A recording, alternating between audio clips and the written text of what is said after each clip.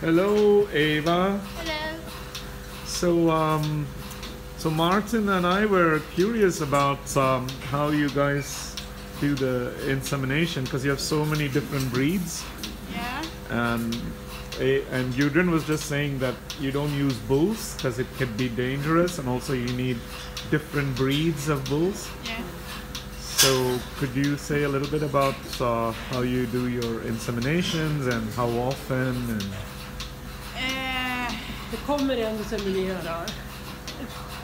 yeah. i- i- In Sweden, uh, you can either be uh, you train yourself, so you learn it, yeah, or uh, there is uh, uh, Inseminator coming from the station. Oh, there is a professional inseminator who comes. professional, Yeah, Yeah. Who comes here? Yeah. Yeah. And, and does it. Yeah. This is what okay. you do. You, you ask somebody. Yeah. We uh, you call them. Okay. And they come. Yeah, and they come. But then you choose the sperms that you want for each cow ahead of time and they- order it.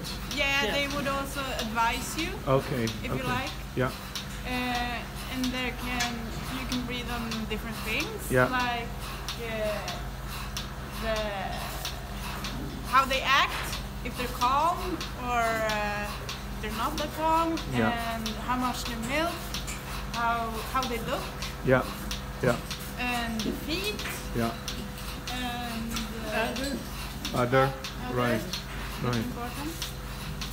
Okay. Uh, So. and how uh, if, if they get big calves or Or small calves? Okay. Okay. And let's have this uh, the kosh, Right. Okay. Right. Right. How it looks, Why is that Okay. important? uh, because it's uh, when It's they give birth, It. it can be uh, harder or easier. Oh, I see. Okay.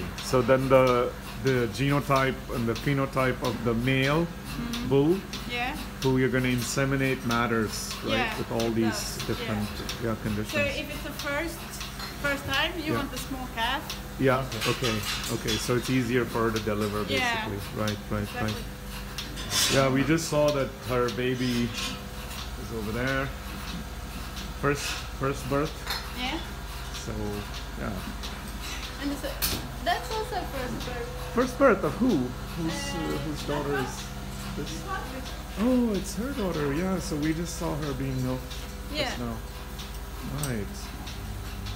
And what's her name again? Uh, that's Grina, eller Grinet. Elegrina. Ja, Grina eller Grinet. Okay. And what's her? Grina for short. And do you have a name for her? And that's like he's uh,